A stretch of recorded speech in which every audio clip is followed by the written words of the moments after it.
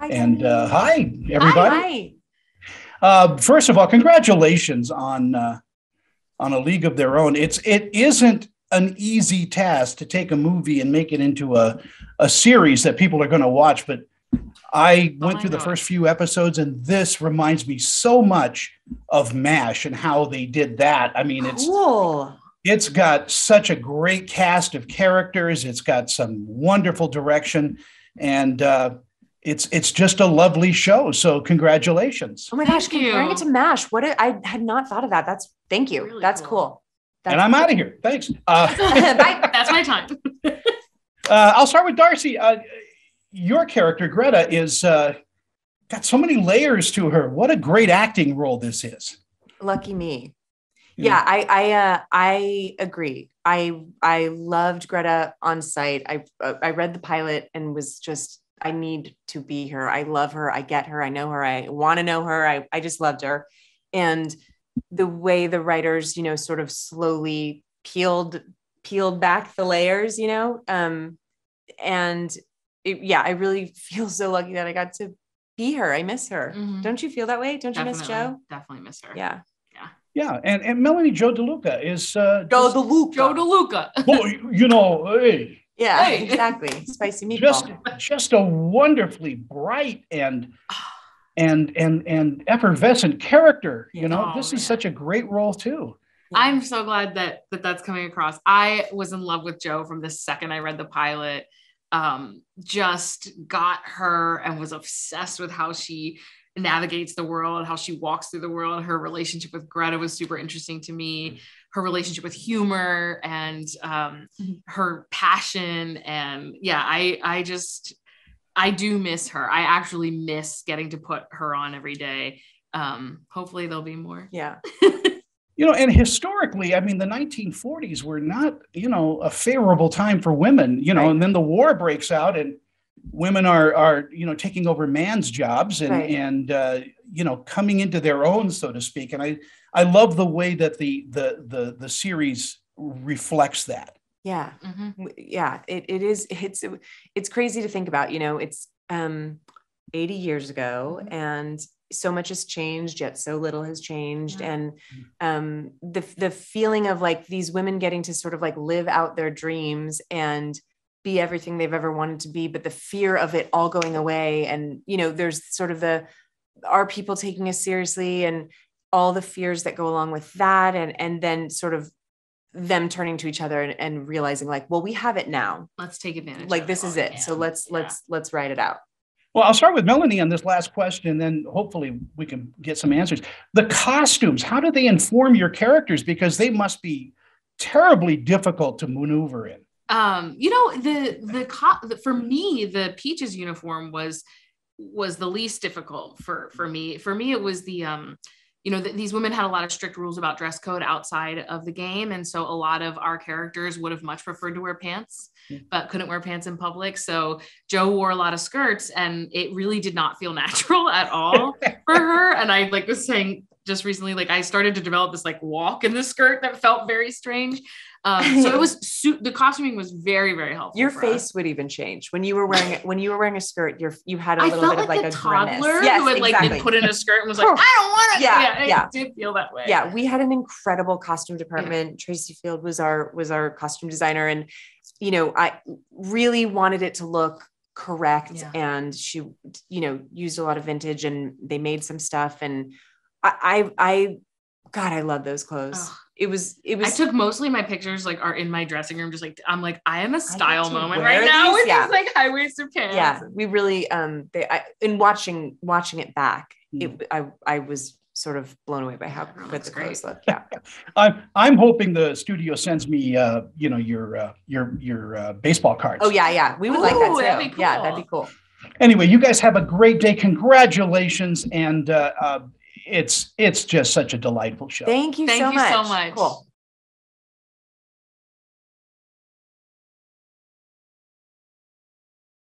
Howdy. How you guys doing? Good, how are you? Good.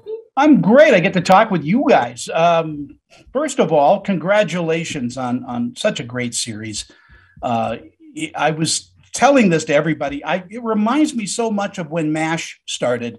Um, you know, being from a movie to a to a television series, and then all the great characters and how rich um, that that is to have a lot of these great characters to mine from. And so, uh, I think I think a League of Their Own is going to have a lot of good legs and and have a lot of seasons to come. Yeah, Thank a you lot so of much. good legs.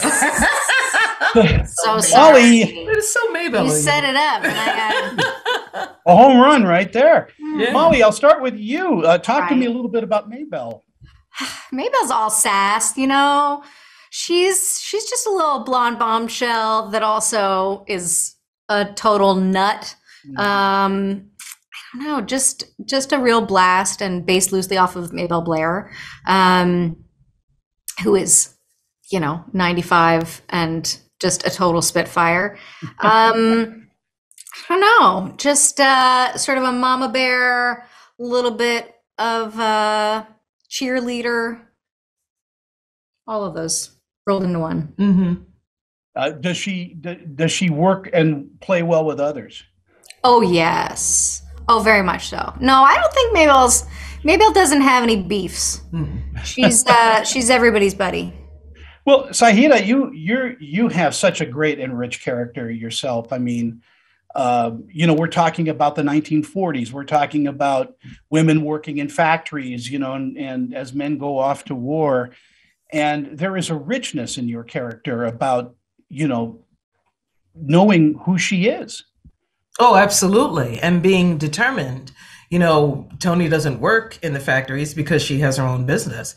She's the first Black female to own a business in Rockford in our story. And uh, there's great responsibility with that. But, you know, she's ambitious, much like Max. They're very ambitious in different ways. And so I think that Toni, you know, yes, this might be a challenge, but it's something that she knows that she can overcome, especially because she wants to be an example for her daughter. Uh, you know, it's hot where you guys are are shooting. It's it's uncomfortable. Mhm. Do the costumes with those baseball uniforms hinder you? Well, I was um I was shooting from like 6 to 8 months pregnant, so I had this whole other sort of thing that was keeping me hot and tired and with swollen feet and um you know that business. But the Peaches outfit actually hit her pretty well. So d- do you are you uncomfortable in the costumes as well? Um, no, I mean they were wonderful because they were vintage. The shoes, I did not like the shoes. Yeah. The shoes were there's no support. It was just, and you know, of course, it was a heel. These those white shoes I wear in the revival, oof, I could burn them. But otherwise, I really love. I really enjoyed the costume. In our last minutes, and I'm sorry these interviews are so short because I could talk to you guys all day. Uh, Uh, what do you think audiences are going to take away from discovering a league of their own?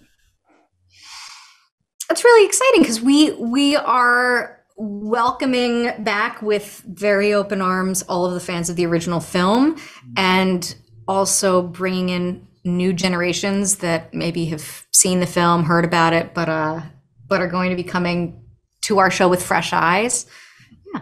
And also for everyone, new or old, if you've seen the film or not, you're going to get a more expanded view of the world in the 1943, 1943. That's what you're going to get. You're going to have more people of color represented, queer people represented. So, and there's also a lot of humor. So you're going to Well, laugh a lot. There should be humor in everything we do because Absolutely. you can't laugh, and then you you got to cry. You know, Right on.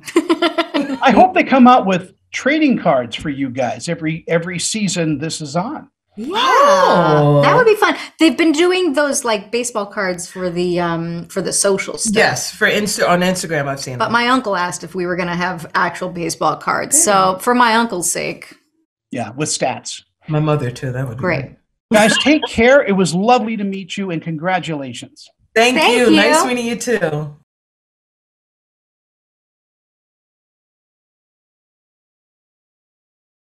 It's- Thank you. It's such a fun series, and I, I've been saying this all day.